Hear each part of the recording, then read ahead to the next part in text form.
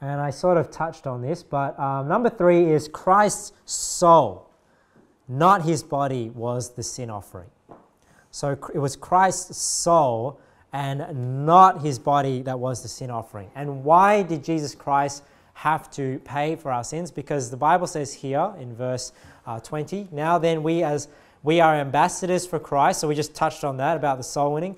Uh, we are ambassadors for Christ, as though God did beseech you by us. We pray you in Christ said, Be ye reconciled to God. For he hath made him to be sin for us who knew no sin, that we might be made the righteousness of God in him.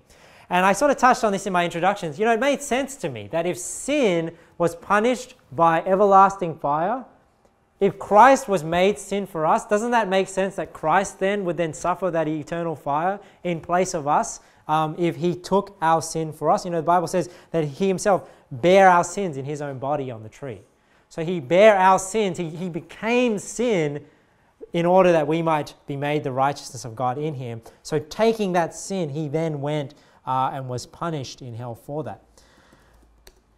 Uh, let's just go to John 3:14. And this is why it's interesting because in John 3:14 the Bible says here Jesus talking about himself and as Moses lifted up the serpent in the wilderness even so must the son of man be lifted up that whosoever believeth in him should not perish but have eternal life.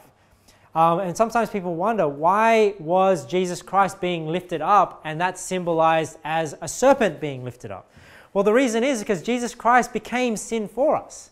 So that's why there's a serpent. And then in the Old Testament, when they looked at the serpent that was risen up, the brazen serpent, they lived symbolizing Jesus Christ. You say, well, how can, oh, isn't that blasphemous that Jesus Christ is symbolized by a serpent? No, because he became sin for us. He became evil, and that's why he can be symbolized as a serpent lifted up, because when he was lifted up on that cross, he, he his own self bare our sins in his own body on the tree.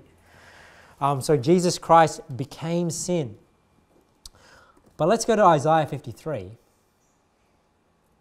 And we'll just read through this chapter here. It says, uh, we'll go from verse 3. And we read about the suffering of Jesus Christ. Verse 3 He is despised and rejected of men, a man of sorrows and acquainted with grief, and we hid, as it were, our faces from him. He was despised, and we esteemed him not. Surely he hath borne our griefs and carried our sorrows, yet we did esteem him stricken, smitten of God, and afflicted. But he was wounded for our transgressions, he was bruised for our iniquities. The chastisement of our peace was upon him, and with his stripes we are healed. All we like sheep have gone astray. We have turned every one to his own way, and the Lord had laid on him the iniquity of us all. So there's that becoming sin for us. He was oppressed and he was afflicted, yet he opened not his mouth. He is brought as a lamb to the slaughter, and as a sheep before her shearers is dumb, so he opened not his mouth. I think that symbolism there is like the Passover lamb, right? Brought to be killed. He was taken from prison and from judgment, and who shall declare his generation? For he was cut off out of the land of the living. For the transgression of my people was he stricken. So we'll just stop there first, and we'll say, you know, see, he, the suffering was there, the beating, the physical suffering and death was there. And people might say, yeah, well, that's the thing. Isaiah 53, it just talks about the physical beating and the suffering, but he didn't burn in hell. But let's read on, and this is why I believe that he did suffer in hell. Uh, it says here, and he had made, look, and he made his grave with the wicked and with the rich in his death, because he had done no violence, neither was any deceit found in his mouth. Verse 10. Yet it pleased the Lord to bruise him. So we've already read about the physical pain and suffering that Jesus Christ went through. He hath put him to grief when thou shalt make his soul an offering for sin. So just take note of that, that his soul was an offering for sin. He shall see his seed, he shall prolong his days, and the pleasure of the Lord shall prosper in his hand. He shall see the travail of his soul and shall be satisfied. By his knowledge shall my righteous servant justify many, for he shall bear their iniquities. So there's that becoming sin for us.